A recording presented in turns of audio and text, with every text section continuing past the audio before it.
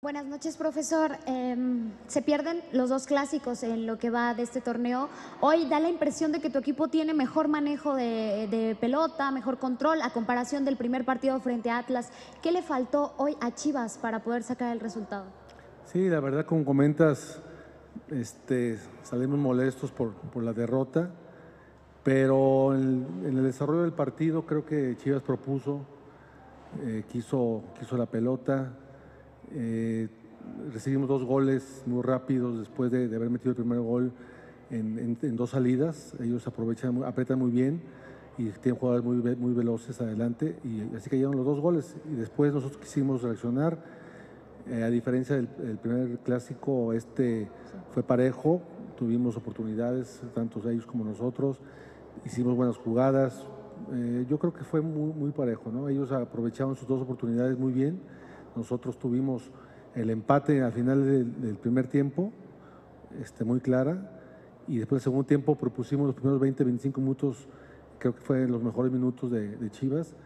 Eh, no cayeron los goles, no, tampoco fuimos muy claros, pero pues me doy triste por la derrota, pero también viendo que el equipo ha mejorado bastante, hemos sacado muy buenos resultados eh, de visitante y, y contra rivales eh, fuertes, entonces ahora Atlas aprovechó y, y mantuvo el, su resultado. ¿no? Profe, por acá, Daniela 40 para Radiorama Deportes. Profe, a pesar de que hoy se puede caer, ¿qué le hizo falta? Porque el Guadalajara venía de ganar ante León hoy, ¿qué factor le hizo falta al equipo como para que se pudiera ahora sí tener ante el Atlas un triunfo? Sí, mira, este, con León hicimos un muy buen partido también. Yo creo que la actitud, las ganas y todo eso fue lo mismo hoy. Este, también el equipo rival cuenta y ellos aprovecharon, nosotros no pudimos eh, revertir el marcador nada más. ¿no? Yo, yo no creo que hayamos, bajado el nivel, ni hay, ni hay, un problema ni siquiera físico ni, ni táctico. También estudiamos muy bien a los rivales, sino fue también de capacidad de, de ellos para, para, aprovechar las oportunidades y nosotros no, no, las aprovechamos.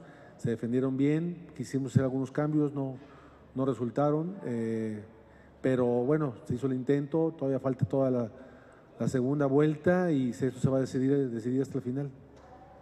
Marga, buenas noches. Este, profe, eh, ahorita checando las estadísticas de partidos anteriores, eh, veía que Chivas no puede meter más de dos goles. ¿Qué tan preocupante es eso y también qué tan preocupante es de que, a diferencia de otras ocasiones, Chivas no cuenta con jugadoras para aportar a la selección mexicana? Sí, mira, son muchos temas. Eh, yo creo que desde el punto de vista en el ataque sí nos hace falta trabajar más.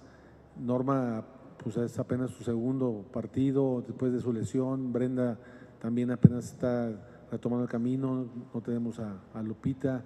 Entonces en la parte de, de, adelante sí nos faltan más variantes.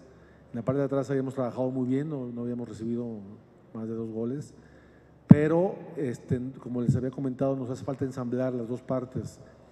Y bueno, lo, la selección, las seleccionadas, eh, pues se da poco a poco, tenemos dos, dos seleccionadas sub-20, este, Nicole y, y, y esta Annette.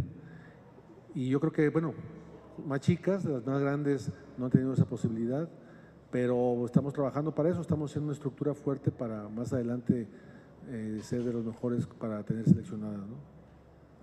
Por acá, profesor, buenas noches.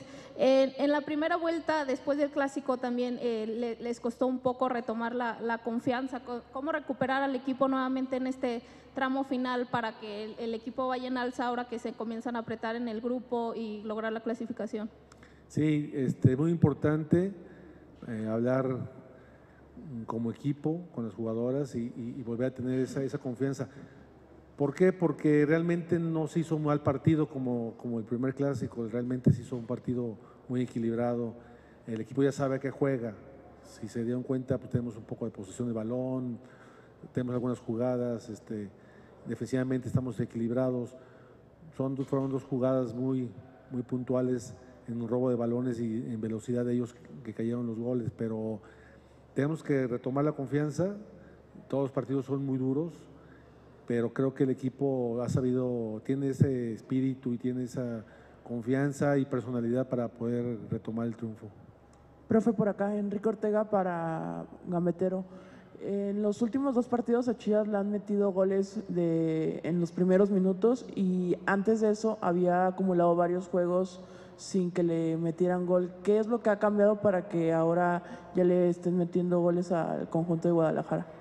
Sí, es muy buen punto porque el partido con, con León también un descuido, eh, cayó el primer gol muy rápido, nos supimos reponer y ahora fue al revés, ¿no? Metimos el gol primero nosotros y después el equipo contrario aprieta y, descuidamos. Entonces es algo también de trabajo, de trabajo eh, con todas las líneas y, la parte mental también, ¿no? que, muchas veces este, no sabemos manejar la presión y yo creo que eso tienen que aprender las jugadoras.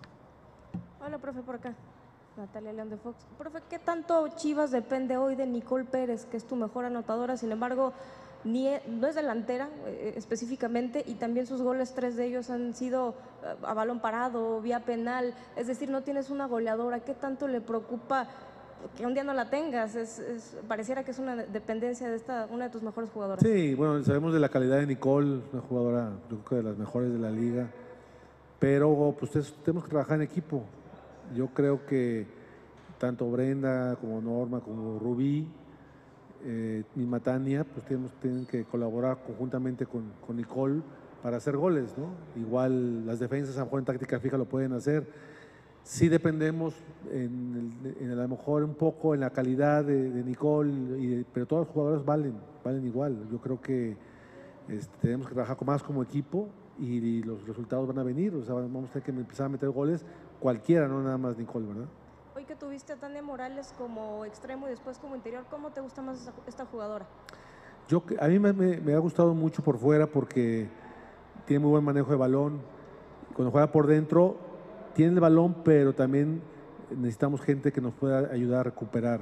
Entonces yo le tiro un poco más para la, para la banda porque si bien el primer, el primer gol que metemos, en el, ella manda el centro, igual que, que en el partido de los penal, en un penal de, en León, también ella es la que manda el centro. Entonces, por su calidad, me gusta que juegue por fuera.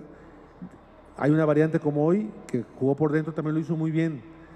Quizá ahí a veces nos falta un poquito más de fuerza nada más, pero en general, en cualquiera de las dos posiciones me gusta. Agradecemos al director técnico. Muy buenas noches Gracias. a todos.